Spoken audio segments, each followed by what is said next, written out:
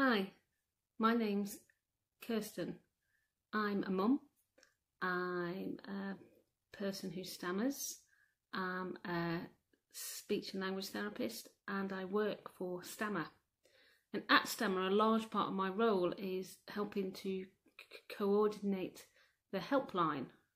Um, and it's been really clear that over the last two or three, maybe four weeks, we've been receiving a lot of calls from parents of preschool children who stammer um, and who've recently started stammering. So, if this is you, if you're the parent of a preschool child who stammers, then this message is for you.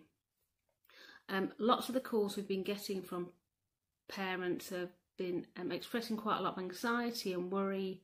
Um, parents have been asking us questions about um, what to do in the moment when their child is stammering, um, how to respond to that, how worried they should be, um, whether they should be seeking professional help, um, how to seek help, if that's even possible uh, during the current health crisis. So lots and lots of questions and lots of worry coming through. Um, in addition to the helpline service, which of course is still there, um, we're going to make over the next few days a series of short videos trying to answer some of those questions.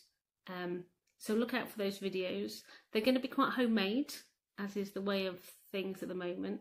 So don't go expecting any high quality visuals because you won't be getting them. But we will try to to to respond to some of your concerns. Um, in the meantime, you are of course welcome to phone the helpline. Please do. It's exactly what we're there for. We've got trained volunteers waiting to answer your call, have a listen to you, and have a chat um, and see what they can do to help. Um, the number for the helpline, have it written down because I made this video before and gave the wrong number.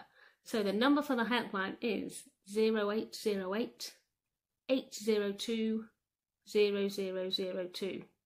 That's 0808 802 0002.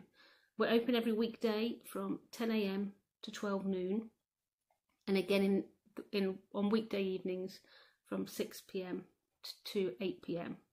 So don't hesitate to give us a call. As I say, it's what we're there for, and look out for our mini video series coming up over the next few days. Thanks a lot. Bye for now.